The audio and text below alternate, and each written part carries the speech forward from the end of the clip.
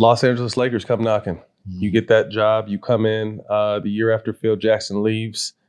Hell of shoes to Mike fill. done made some bags, man. Mike did, some, did, did make some bags, Some man. big shoes to fill. Lakers. My boy done got him some bags. Like, Um, how did that? How did that process happen?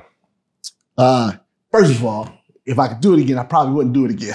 Yeah, I ain't mad at you. Because, you know, Phil, he's one of the all time Right. greatest. And, you you know, you're not going to be able to duplicate anything he does. And I hate to say this, but you ain't going to be able to duplicate what Pop did. That's a tough you, problem. You know, they, they say, and, and even Steve Kerr now to Yeah. degree, you know. yeah.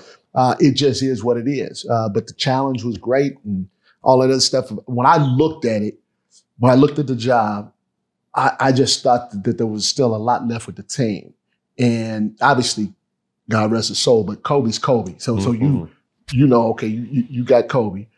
And then the reality of it is there were some great players. You know, Pau is Mhm. great. Even Andrew Bynum, Bynum. for a young guy. Mhm. You know, uh, I, I don't know if at the time, did Ron change his name already? Man, At the Yeah, time? yeah, I he know what he was. So he was Ron, Metta, so- yeah. Yep. Yeah. So met, you know, Mhm. I mean, you fish. There was a lot there, but but the reality of it is, I was mo- next most excited about Lamar Odom.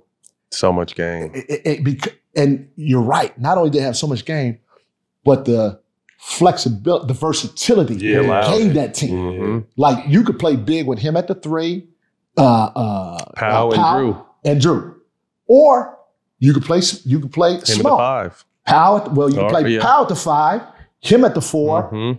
a- And then, you know what I'm saying? So the versatility on that team excited me more than anything else. And I never, that was the lockout year. I never forget, man, we, we, we had a lockout year the whole time as a staff, we working on it, try how can we enhance this Mhm. versatility? And not just, not, uh, not just offensively, but defensively too.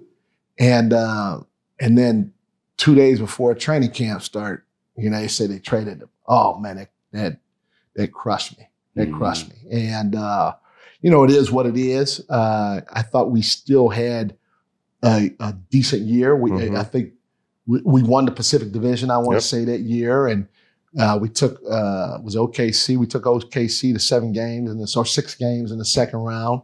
You, you know, um, and yes, there could have. You know, you look back and I wish I did this different or that different, but I thought we had a good year. And then Mhm. year two, uh, we started off one and four. I was okay with it because we had a lot of new faces that we were trying to integrate in terms of of Dwight, Nash, and there was maybe somebody else, and and uh, but I go in and, and I get fired, and it is what it is. It's the business. That's the the cold gives five Yeah. games. Uh, real quick, what was it like working with Kobe and trying to? I don't even know. What do you call coach player relationship? I mean, not friends, but how like how did you get on the same page with Kobe? How what was that process like?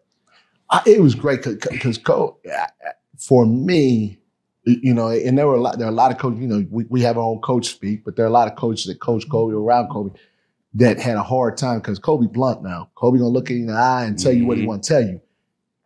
For me, I like that because I, I I felt I always knew where I stood with You him. never had to assume. I didn't have to be Mhm. cor- correct. That's the best way to say. I didn't have to assume anything mm-hmm. because if he didn't like it, he He gonna, gonna tell tell you. you. Mm-hmm. And so that was for me the best part about him. You know, now you throw in his competitiveness and all this other stuff, and I, it, it was great. Now the thing that was tough was because he had won championships with Phil, and he won them in a certain way. It was hard as a young coach to say, "Hey, Kobe, let's do it this way." New style, he wasn't having it. Yeah, you- you- you I'll know. say it for you. Cole wasn't having, nah, Cole wasn't Yeah, having so- It was like you would just see, and it wasn't almost. It wasn't like like I said, it wasn't almost a, uh, a disrespecting. It was just like Kobe's like we've won five this way. So Yes, now there's did. a whole new philosophy of what Mike is trying to implement on us, and it's just sometimes it just didn't work. Hundred percent. And, and and I don't blame him because Yeah. I'd probably be the same way Mhm. too if I was with him and I experienced five championships doing it a certain way. But the tough part about it, man, as, as you know, is I can't be Phil. Right. It's hard. And not, Right. not only that, I wasn't even on the staff. So I don't really so now I'm learning a lot as we're going along Yeah. of what used to happen. And because I don't coach like that or I wasn't around, sometimes it's hard for me. I can't adjust just Mm-mm. because Phil did it. Right. You know. You got to do it your way. Yeah. But what you didn't know coming in, like there was some internal funk, and when Phil decided it was time and Mike came in, you would never know Phil Jackson was ever there. They took all of his Yeah. shit down, bro. It was was crazy. crazy. All of it. So some guys are coming back like, Not, not only that, if you remember too, the, the whole scouting department they gone. was gone, and then they brought in. I mean, there was there was a there was a lot, A lot of stuff change. that- a lot of change at that changed up. time. I think Jim Buss was making calls at that point, and there Yeah. was a lot of moving parts.